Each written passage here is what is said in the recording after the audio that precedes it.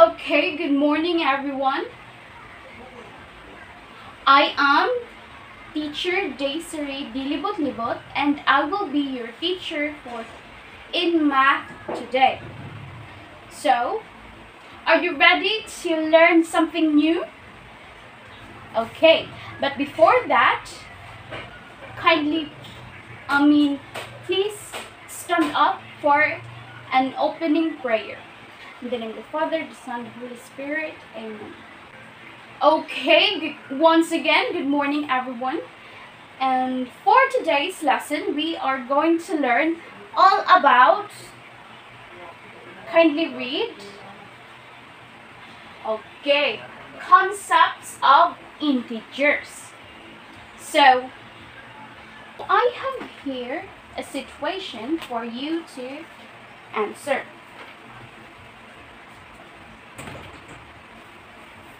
Kindly read.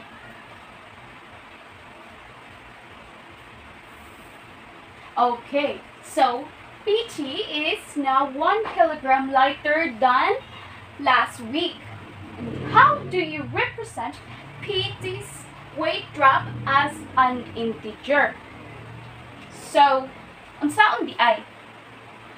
So, since wala tayo idea ani, let us answer that later as we go on with our lesson.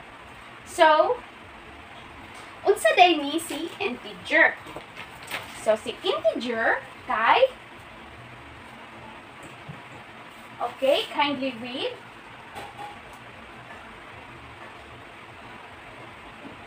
So, the integers bi are composed of positive and negative whole numbers including zero. So, we can further aid this, um, we can further aid integers using, using the number line. So, maodi ay ni si number line. Starting with 0. So, si number line na siya'y tulo ka part. Which is, starting with 0, here, diri sa tuma. And then, unsa din ni si 0? 0 is a neutral or has no value. So, kini si 0 diri sa number line, either positive ni siya or negative.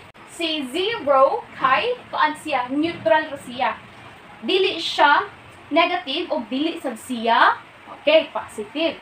Now ang ikaduha nga part sa number line kay si positive integers. So makita nimo si positive integers nga ri napita sa number line. Kining 1 2 3 4 5 6 7 8 9 10 and so on. So kini si positive integer is donated oh, I mean, denoted by a plus sign. So, si, kini si positive integer kay, makuan mo siya o positive sign na. So, this refers, kini si positive integers, this refers to all the numbers to the zero to the right. So, mo na to ako ang gi-explain ganina nga si positive integers gikan ni 0 padung diri sa right. Okay. Kini ang last nga part sa atong number line kay si negative integers. Kini si na, si negative integers of course kay negative man siya denoted siya by a negative sign. So, kini si negative integers negative integers are numbers found at the left of the zero. So, from zero, from our neutral number, which is zero, to the left sab siya. Si positive integers kay to the right, si negative sa left. So, which means nga, tanan na sa left, negative, at tanan na sa right, kay positive. Okay. Now,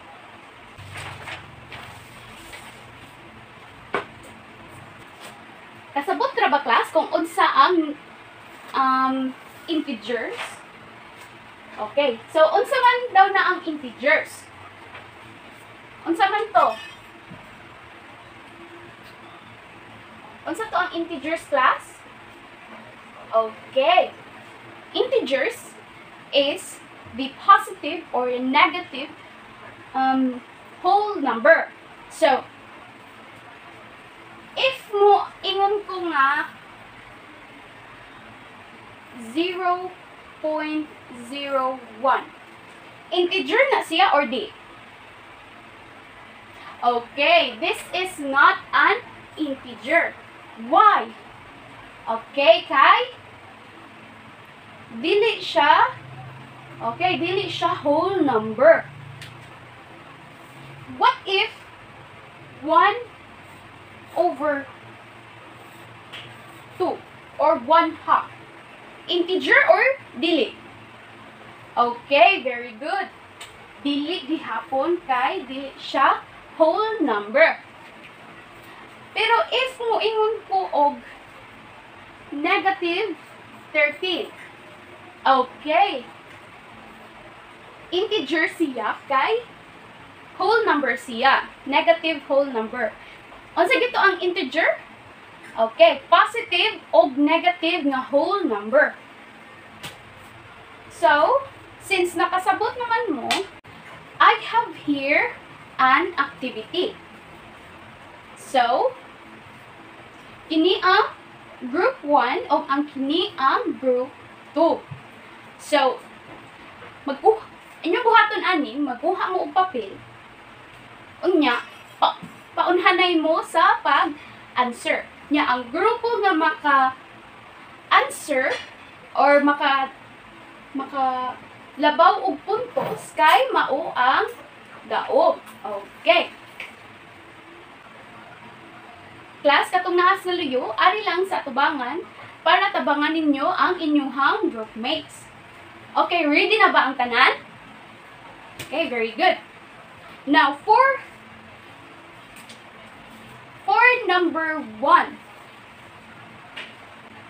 arrange the following numbers to greatest to smallest. Arrange the following numbers to greatest to smallest. From greatest to smallest. Okay, very good. Group 2. So, kay sa nakauna ang group 2 answers or answer, ang point maadto sa ilaha. Okay. 1.4 group 2. So, okay, group Okay, for the second number, arrange the following to smallest to greatest.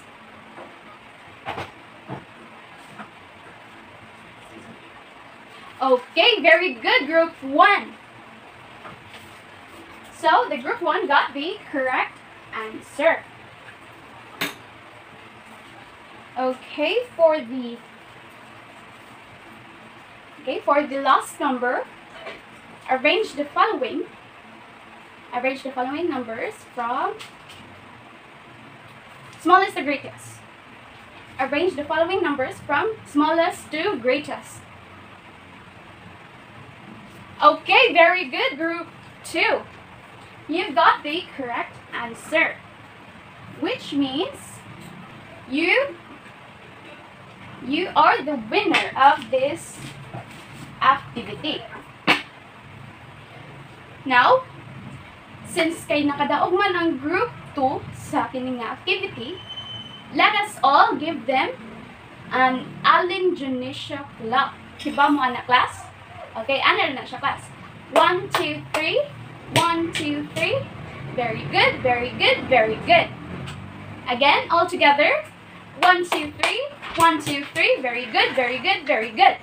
Okay. Ato atong balikan ang ato ang um, katong ato ang ging kuan nga equation kaganina. Ato ang siya ansiran. Okay. So, Pete is now 1 kilogram lighter than last week. How do you represent Pete's weight drop as an integer? So, unsa man di ay aw So, unsaon nato pag-represent ang weight drop nga 1 kilogram ni Pete? Okay, very good. It's negative. We can represent Pete's um, weight drop as negative 1. So, negative 1 kay nga naman. So, basta um, basta positive integer siya, ako ano ni kay kanang gain, higher than, more than, o kana, etc. And for uh, the negative, mako ano siya nimo o kanang low, lesser than, or less than, um, okay ni, lighter than, and, and so on, and so forth.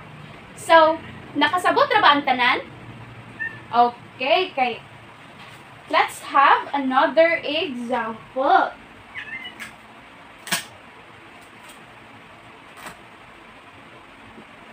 Okay.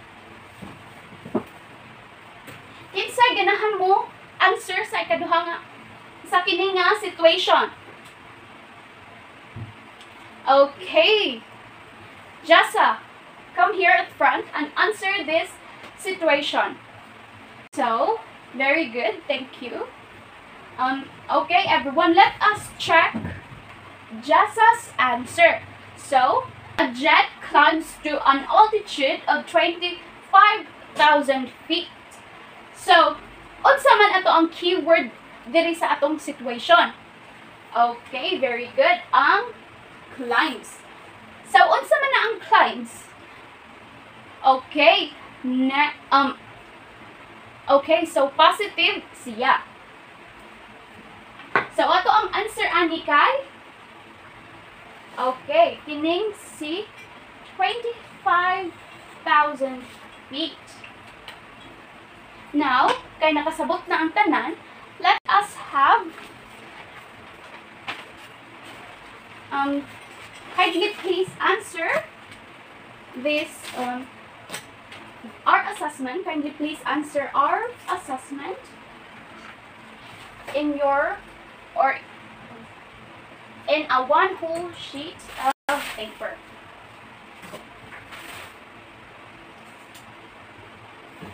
Please kindly read each instructions as you answer our um, the questions here. And I will give you only 10 minutes to answer the following. You may now begin. Okay, since everyone did a very good job, let us give ourselves a fireworks clap. Okay, are you ready? Okay, here we go. One, two, three. Psh. One, two, three. Psh. One, two, three. Psh, psh, psh. Boom. Okay, very good, everyone. Now, since we have come to the end of our discussion, I want to ask you, did you learn something new today? Okay, very good. Since naka-learn mo og something new, karong adlaw, dili na ko maghatag og assignments. I will be dismissing you early today. So, goodbye everyone. Okay.